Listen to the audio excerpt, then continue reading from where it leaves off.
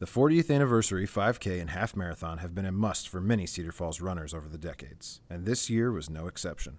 We talked to Cedar Falls Athletic Director Troy Becker about the event and what it means to the community. You look at people in our community that are so involved in fitness, and uh, this is a way for them to be a part of the Sturgis Falls event. And uh, you can choose the 5K or you can choose the half.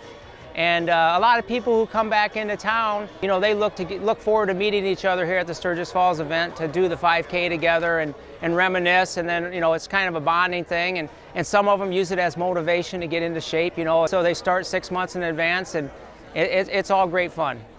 We also talked to 2017 Cedar Falls High School grad and current athlete at the University of Arkansas, Sam Schillinger, who placed first in the 5K, about what the event means to him.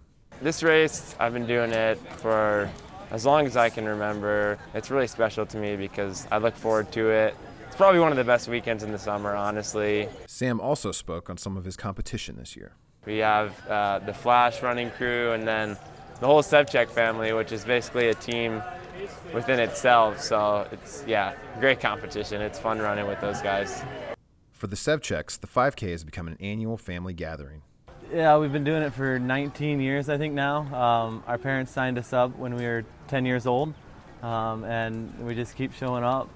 So this is one of the the only race of the year that we get all five of the brothers and Brenda running at the same time. So it's kind of the the bragging rights for the year. So big race on the summer schedule.